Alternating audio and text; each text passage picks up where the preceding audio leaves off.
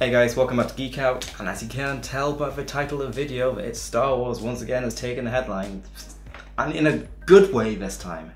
Good way, we hope. Um, Matt Smith has been announced for episode 9, which is awesome because everyone loves him Doctor Who. There were, were good stories, note the word were because, yeah, Moffat.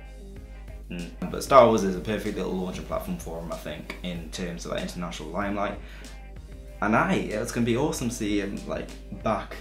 Um, but he's probably gonna play a villain because he's British. Star Wars villains are usually English. Where he ends up, speculation wise, I think he's probably gonna be Imperial officer. He might be the new Snoke because uh, yeah, Snoke got killed off. Uh, uh, yeah, that's one part of episode se uh, not seven, episode eight, I was a bit like, hmm, okay, now what? Apparently, a theory around that he might be one Knights of Ren. That would be cool to not see actually see him more an active role and a bit more of an actiony role, more than just a speaky role. But he is really good at good at speeches. I mean, some of the speeches in Doctor Who, like not some from the later ones, but some of them were brilliant. Like really good.